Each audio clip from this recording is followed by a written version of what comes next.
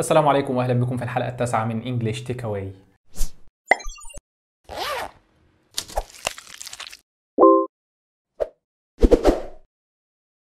As always عندنا ثلاث فقرات. Word, phrase, grammar rule كلمة جملة وقاعدة بسيطة كده في اللغة الإنجليزية. And without further ado let's get started. حد فاكر without further ado? لو انت فاكر اكتب لنا معناها في comment تحت الفيديو. فالكلمة بتاعت النهاردة هي emerge. Emerge.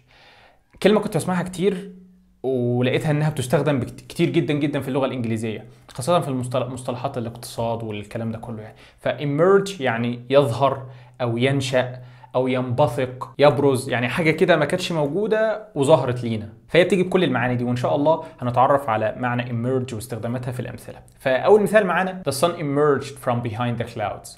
The sun emerged from behind the clouds. يعني الشمس ظهرت من خلف السحب. معناها the sun appeared from behind the clouds يعني emerged هنا جاب معنى appeared the sun emerged from behind the clouds مثال آخر a few important facts emerged after the investigation A few important facts emerged after the investigation يعني شوية حقائق مهمة ظهروا بعد التحقيق ف emerged هنا جايب معنى تظهر برضو مثال آخر China is an emerging market China is an emerging market. يعني الصين هو سوق ناشئ.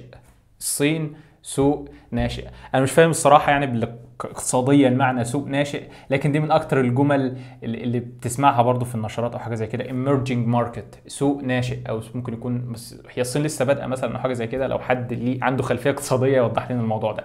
بس دي جملة مشهورة جدا. China is an emerging market. China is an emerging market اوكي واخر مثال برضه هيوضح معنى emerging قوي هو emerging companies always start with a small capital Emerging companies always start with a small capital. معناه إن الشركات الناشئة أو الشركات اللي لسه بتبتدي بتبدأ دايما براس مال صغير a small capital اللي هو راس مال صغير. ف emerging companies يعني الشركات الناشئة. ف emerging هنا واضحة جدا بمعنى ينشأ أو حاجة ناشئة حاجة لسه بادئة تظهر.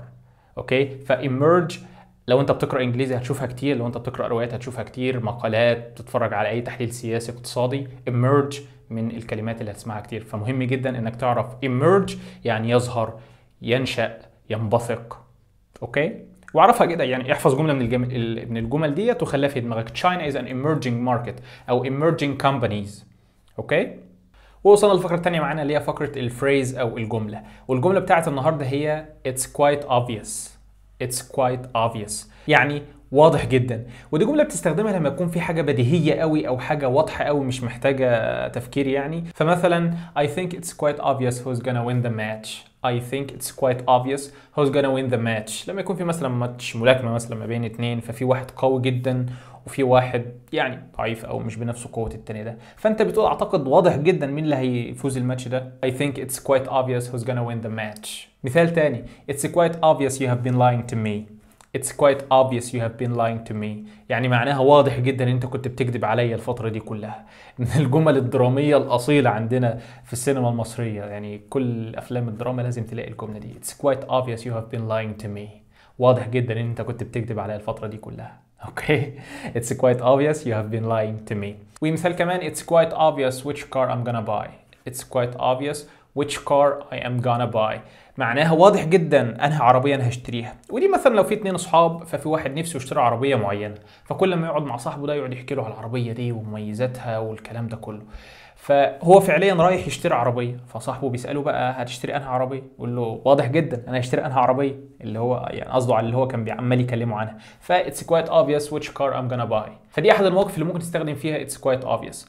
موقف آخر لو أنت في الشغل وفي مثلا حد هيترشح أو حد هيبقى ال CEO بتاع الشركة ففي عضو بارز قوي prominent. فاكر prominent بارز من ال staff أو الناس اللي شغالين في في الشركة ديت. فكلهم تقريبا كده عارفين مين اللي هيترقى. فممكن تقول it's quite obvious who's gonna be the next CEO of the company. It's quite obvious who's gonna be the next CEO of the company. زي ما انت عارف CEO اختصار لل Chief Executive Officer أو المدير التنفيذي. It's quite obvious who's gonna be the next CEO of the company. ف it's quite obvious إن إحنا خلصنا الفقرة دي وهنروح للفقرة اللي بعد كده. ووصلنا للفقره الثالثه معانا اللي هي فقرة ال grammar rule وال grammar rule بتاع النهارده حاجة بسيطة جدا هي the هنتكلم عن the the في اللغة العربية بتماثل الألف واللام. يعني car ديت سيارة. The car السيارة. Cars سيارات. The cars السيارات.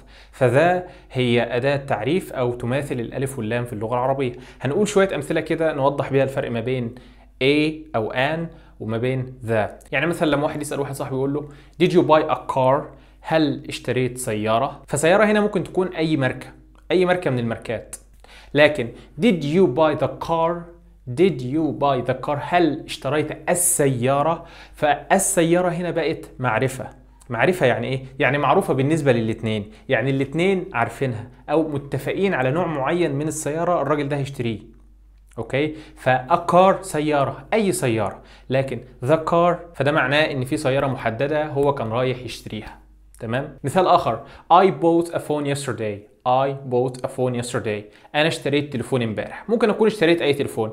نوكيا سامسونج آيفون أي تليفون. ممكن أكون اشتريت أي تليفون. لكن I bought the phone yesterday.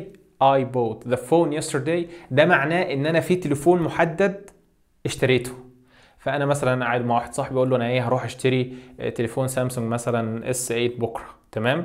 بعدين وقتها فعلا رحت اشتريت التليفون وجيت فبكلمه بقول له I bought the phone ف the phone هنا هو عارف أنا بتكلم عن إيه. فأنا عرفت ال phone هو عارف إن أنا بتكلم عن ال S 8 مثلا. ف the هنا بتيجي علشان تعرف الشيء أو تخلي الشيء معرفة.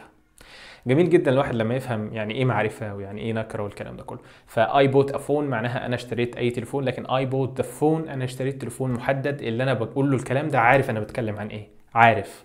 معرفة. okay؟ وحاجة أخيرة برضو علشان ما نبقاش طلعنا من الفقرة دي ب the بس. لما أقول لواحد do you have time do you have time معناها أنت عند هل أنت عندك وقت؟ لكن لما أقول له do you have the time فده حوار تاني خالص. do you have the time فديت معناها الساعة كام؟ okay؟ دي معناها يعني تماثل what time is it الساعة كام؟ فده كان the ولو عايز تعرف أكتر عن ال articles A و an و the فإحنا كنا عملنا فيديو خاص بيه ممكن تشوفه هتلاقي ال link تحت الفيديو أو في ال description ووصلنا لآخر فقرة معانا اللي هي فقرة ال quote وال quote أو الاقتباس بتاع النهارده من واحد اسمه براين تريسي ده كاتب motivational public speaker براين تريسي بيقول The act of taking the first step is what separates the winners from the losers. The act of taking the first step is what separates the winner from the losers. الراجل بيقول لك إنك تاخد الخطوة الأولانية دي دي الحاجة اللي بتفرق ما بين الناجح والفاشل. معظم الناس أنا عايز أتعلم برمجة أنا عايز أتعلم مونتاج أنا عايز أتعلم ال film making أنا عايز أروح الجيم أنا عايز أنا عايز أنا عايز. بس هل فعلا أنت بتاخد خطوة؟ إحنا كلنا أو معظمنا بنبقى محصورين في مربع أنا عايز. لكن مفيش حد بياخد خطوات. مع العلم إن أنت لو خدت خطوة ولو حتى بسيطة جدا جدا هتمشي لوحدك. يعني مجرد أنا عايز أتعلم برمجة. خش اتفرج على حتى على فيديو واحد على على أساسيات البرمجة. عايز أتعلم مونتاج.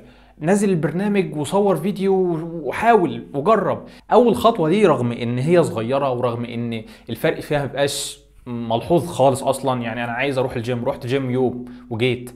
ما, ما فيش أي تأثير ما طلعليش 6 packs مثلا لا. بس هي بتحطك على السكة.